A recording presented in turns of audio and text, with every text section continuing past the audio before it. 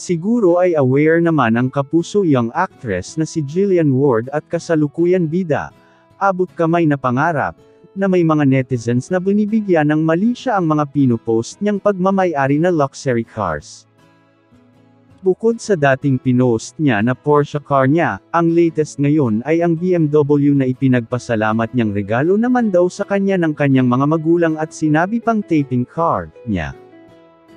May mga nagbigay ng mali siya rito base sa mga comments ng netizens na nababasa namin.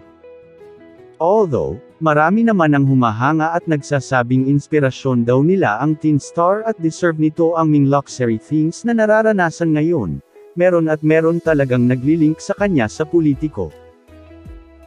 May nag-comment pa nga na, iba talaga ang nabigyan ng galing pork barrel. May nagsabi naman na kesyo, iba mag-alaga kapag may Chinese. Nako ha, 17-year-old pa lang si Jillian at bata pa lamang ay kilala ng kapuso child star. Yung mga ganitong intriga ay pwede niyang didmahan na lang, pero posible rin na magkaroon ng stigma ng pagkakalink niya sa politiko, may Chinese pa.